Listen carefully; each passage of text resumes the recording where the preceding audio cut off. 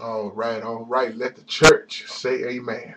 Hope everybody's doing well as I thank the Lord for another beautiful, blessed morning. Giving a great shout out to the beautiful YouTube family. Um, Taisha, good question.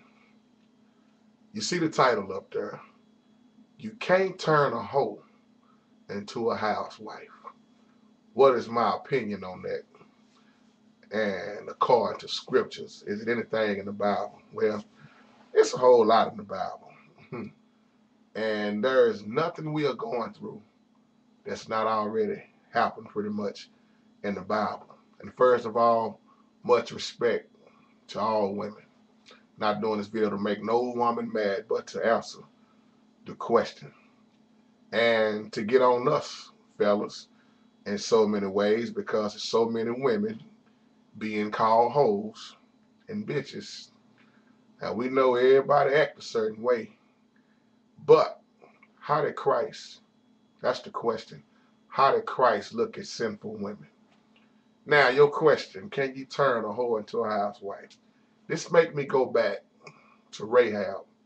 I'm going back to the Old Testament for a minute because Rahab was known as the harlot, prostitute, a woman who do sexual things with her body to receive money.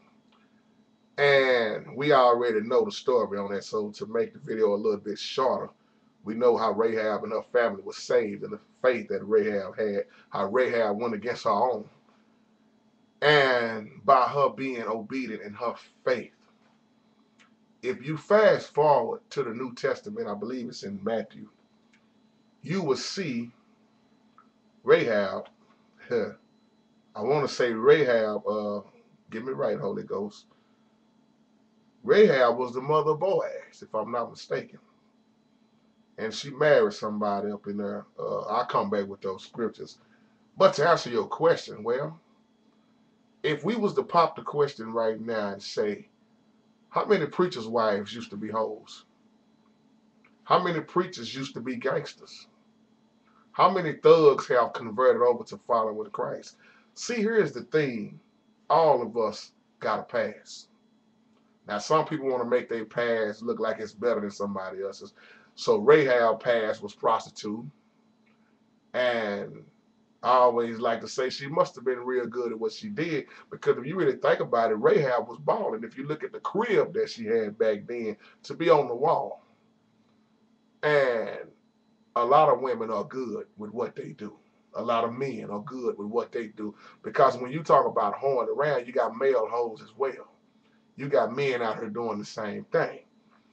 But not to jump off and all that, can you turn a hoe into a housewife? Can you turn a sinner into a, a believer? That's the question. Because if that's the, I mean, if you look at it, like I say, don't none of us, none of us have walked on water. And we got so many men dogging women. So many women dogging men. That, like I say, it's no respect. It's just a little real talk video.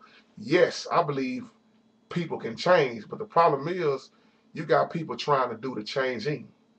We don't do the changing. Only God can change a person. God created them, and only God can change them. Now you can try. You'll waste your lifetime trying to change a woman, fellas or women, you're to waste your lifetime trying to change a man because the thing is, you're to either accept somebody for who they are or you're to remain single. And you have to get it in your mind that there's something wrong with everybody. You might straighten up in one area, then you still got something wrong with you. Just like like a person that get off of shooting dope. Their next habit is smoking cigarettes. So back to get on subject, yes. But you gotta want that change. Can you change a hoe into a housewife? You can't, but God can. And Rahab is a, is a great example. And when Jesus delivered or changed somebody, it wasn't no going back to what they used to be. See, nowadays, we the ones that make it look like, oh, we serve a weak God. Because we got people walking around talking about they delivered, they born again, they knew a new creature in Christ, but they still the same old backstabber, they still the same liar, they still the same cheater, they still the same homosexual. They still the same lesbian or whatever your problem was. And you got to quit trying to make God look like he'll lie. Because he will make you look like the lie. And that's why you always hear me say, we don't serve no weak God. Let me tell you something. This is what I love too. That this is what lifts this is what lifts up my spirit. Because what you're speaking of, I've known too many women now that have changed. They'll tell you, oh, yeah, they used to be me. I was the biggest hoe of the neighborhood, the community. I ran so many men, but they changed. And they haven't went back. And one of them is on camera. If y'all know I'm talking about, I won't reveal her name. But she is on this page. And she will tell you in your face how she used to be. Matter of fact, she only might tell you because everybody already knew her. And she she'll tell you I was just like Rahab. But now she done moved on from that. And once you convert over, see, this question is easy for me to answer because Paul thought what he was doing was right. He was a persecutor of the Christians, killed up many of them, put a whole lot of them in prison, persecuted them. But once he got knocked down at Damascus Road, did Paul go back to doing what he used to do? No. So the point is, whatever your sin is, can't you turn a hoe into a housewife? You can't, but God can. I know a lot of women that's married now and they just laugh on what they used to be. I know people that don't believe, that didn't believe in God, believing in God now, and they not have once back, step back to what they used to be because they have seen the light. So I know somebody might not agree with this video because I've been hearing this saying all my life. It's just how I look at that. I look at the scripture. I look at the sinful woman in the Bible. I look at the woman at the well I mean, it's so many examples in the Bible. The woman had those husbands and Jesus told her, the one you with, not even yours. She told the truth. He didn't condemn that woman, but yet he wanted to show her about salvation.